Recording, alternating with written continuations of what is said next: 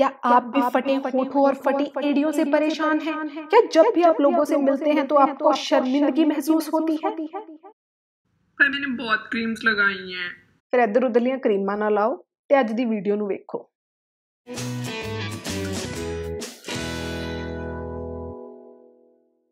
ਸਾਰਿਆਂ ਨੂੰ ਸਤਿ ਸ਼੍ਰੀ ਅਕਾਲ ਤੀਆਂ ਤ੍ਰਿੰਜਨ ਚੈਨਲ ਦੇ ਵਿੱਚ ਤੁਹਾਡਾ ਸਾਰਿਆਂ ਦਾ ਸਵਾਗਤ ਹੈ। ਸੋ ਠੰਡ ਆ ਗਈ ਹੈ ਤੇ ਠੰਡ ਕਈ ਲੋਕਾਂ ਲਈ ਕੁਝ ਸਮੱਸਿਆਵਾਂ ਵੀ ਲੈ ਕੇ ਆਉਂਦੀ ਹੈ। ਕਈ ਲੋਕਾਂ ਨੂੰ ਬਿਆਈਆਂ ਜਾਂ ਫਿਰ ਹੱਥਾਂ ਦੀਆਂ ਕੋਰਾਂ ਜਾਂ ਫਿਰ ਗੱਲਾਂ ਜਾਂ ਬੁੱਲਾਂ ਦਾ ਫਟਣਾ ਅਜਿਹੀਆਂ ਕਈ ਪ੍ਰੋਬਲਮ ਸਾਹਮਣੇ ਆਉਂਦੀਆਂ ਹਨ ਠੰਡ ਦੇ ਵਿੱਚ। ਸੋ ਅੱਜ ਦੀ ਵੀਡੀਓ ਵਿੱਚ ਮੈਂ ਤੁਹਾਡੇ ਕੋਲ ਲੈ ਕੇ ਆਈ ਹਾਂ ਇੱਕ ਅਚੂਕ ਹੱਲ ਇਹਨਾਂ ਸਾਰੀਆਂ ਸਮੱਸਿਆਵਾਂ ਦੇ ਲਈ। ਇਹਦੇ ਲਈ ਤੁਹਾਨੂੰ ਲੋੜ ਪਵੇਗੀ ਸੁੱਕੇ ਔਲਿਆਂ ਦੀ। ਸੋ ਆਪਾਂ ਬਣਾਵਾਂਗੇ ਸੁੱਕੇ ਔਲਿਆਂ ਦੀ ਸਬਜ਼ੀ।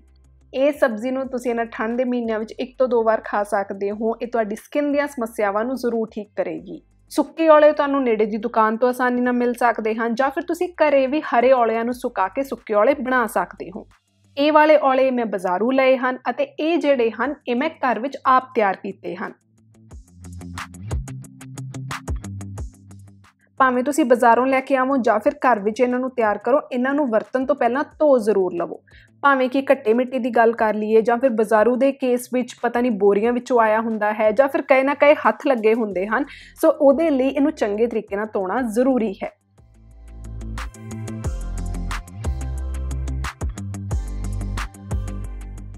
ਹੁਣ ਜਦੋਂ ਤੁਸੀਂ ਉਹਨੂੰ ਧੋਵੋਗੇ ਤਾਂ ਵੇਖੋਗੇ ਥੋੜਾ ਥੋੜਾ ਕਲਰ ਔਲੇ ਛੱਡਣਾ ਸ਼ੁਰੂ ਕਰ ਦੇਣਗੇ।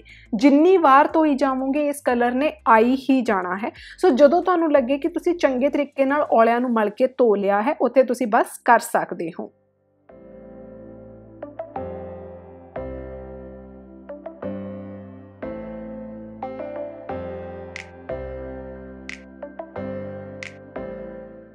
ਇਹਨਾਂ ਔਲਿਆਂ ਨੂੰ ਆਪਾਂ ਭਿਉਂ ਦੇਣਾ ਹੈ ਸਾਫ਼ ਪਾਣੀ ਦੇ ਵਿੱਚ ਅਤੇ ਇਹਨਾਂ ਨੂੰ ਰੱਖ ਦੇਣਾ ਹੈ ਤਕਰੀਬਨ 3 ਤੋਂ 4 ਘੰਟਿਆਂ ਦੇ ਲਈ। ਮੈਂ ਇੱਥੇ ਪਲਾਸਟਿਕ ਦੀ ਡੱਬੀ ਦੀ ਵਰਤੋਂ ਕੀਤੀ ਹੈ, ਪਰ ਜੇ ਤੁਸੀਂ ਚਾਹੋ ਤਾਂ ਸਟੀਲ ਦਾ ਭਾਂਡਾ ਵੀ ਵਰਤ ਸਕਦੇ ਹੋ।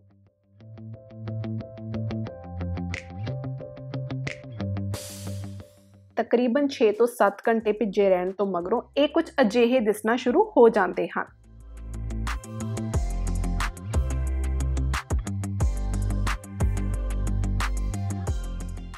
ਹੁਣ ਚਲੋ ਗੱਲ ਕਰਦੇ ਹਾਂ ਸਬਜ਼ੀ ਨੂੰ ਬਣਾਉਣ ਦੀ ਵਿਧੀ ਦੀ। ਤੁਸੀਂ ਲੈਣਾ ਹੈ ਆਪਣਾ ਰੈਗੂਲਰ ਪੈਨ ਅਤੇ ਉਹਦੇ ਵਿੱਚ ਵਰਤੋਂ ਕਰਨੀ ਹੈ ਤਕਰੀਬਨ 1 ਚਮਚਾ ਤੇਲ ਦੀ। ਤੇਲ ਦੇ ਵਿੱਚ ਮੈਂ ਇੱਥੇ ਜ਼ੀਰੇ ਦੀ ਵਰਤੋਂ ਕੀਤੀ ਹੈ। ਜੇ ਤੁਸੀਂ ਨਹੀਂ ਵੀ ਪਾਉਣਾ ਚਾਹੁੰਦੇ ਤਾਂ ਬਿਲਕੁਲ ਠੀਕ ਹੈ। ਜਦੋਂ ਜ਼ੀਰਾ ਭੁੱਜ ਜਾਵੇ, ਫਿਰ ਆਪਾਂ ਪਾਵਾਂਗੇ ਇੱਕ ਛੋਟਾ ਕੱਟਿਆ ਹੋਇਆ ਪਿਆਜ਼।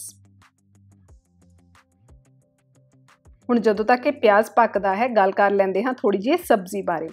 ਵੈਸੇ ਤਾਂ ਔਲੇ ਨੂੰ ਆਪਾਂ ਕਈ ਤਰੀਕਿਆਂ ਨਾਲ ਖਾਂਦੇ ਹਾਂ, ਭਾਵੇਂ ਕੱਚਾ ਹੋ ਜਵੇ, ਉਹਨੂੰ ਰਸ ਦੇ ਰੂਪ ਵਿੱਚ ਪੀ ਲਈਏ ਜਾਂ ਫਿਰ ਉਹਦਾ ਪਾਊਡਰ ਹੋ ਜਵੇ, ਪਰ ਇਸ ਇੱਕ ਤਰੀਕੇ ਨਾਲ ਬਿਆਈਆਂ ਜਾਂ ਫਿਰ ਕੋਰਾਂ ਦੀ ਸਮੱਸਿਆ ਖਾਸ ਤੌਰ ਤੇ ਦੂਰ ਹੋ ਜਾਂਦੀ ਹੈ।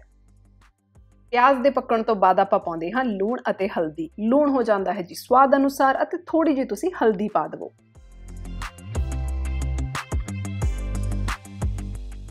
ਫਿਰ ਆਪਾਂ ਇਹਦੇ ਵਿੱਚ ਐਡ ਕਰਾਂਗੇ ਜਿਹੜੇ ਆਪਣੇ ਭਿੱਜੇ ਹੋਏ ਔਲੇ ਸੀ, ਉਹਨਾਂ ਨੂੰ ਉਸ ਪਾਣੀ ਦੇ ਸਮੇਤ ਹੀ ਆਪਾਂ ਐਡ ਕਰ ਦੇਣਾ ਹੈ। ਜੇ ਇੱਥੇ ਤੁਸੀਂ ਚਾਹੋ ਤਾਂ ਥੋੜਾ ਜਿਹਾ ਐਕਸਟਰਾ ਪਾਣੀ ਵੀ ਪਾ ਸਕਦੇ ਹੋ।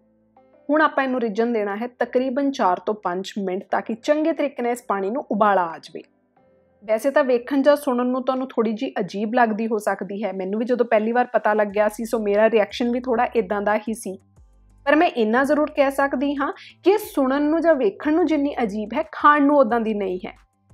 ਹੁਣ 5 ਜਾਂ 6 ਮਿੰਟਾਂ ਮਗਰੋਂ ਜਦੋਂ ਇਹ ਸਬਜ਼ੀ ਬਣ ਕੇ ਤਿਆਰ ਹੋ ਗਈ ਹੈ, ਫਿਰ ਤੁਸੀਂ ਗੈਸ ਨੂੰ ਬੰਦ ਕਰ ਸਕਦੇ ਹੋ। ਹੁਣ ਮੈਂ ਤੁਹਾਨੂੰ ਇਹਦੇ ਖਾਣ ਦੀ ਵਿਧੀ ਵੀ ਦੱਸ ਦਿੰਦੀ ਹਾਂ। ਸੋ ਤੁਹਾਨੂੰ ਇਹਨਾਂ ਔਲਿਆਂ ਜਾਂ ਇਹਨਾਂ ਪਿਆਜ਼ਾਂ ਨੂੰ ਖਾਣ ਦੀ ਲੋੜ ਨਹੀਂ ਹੈ।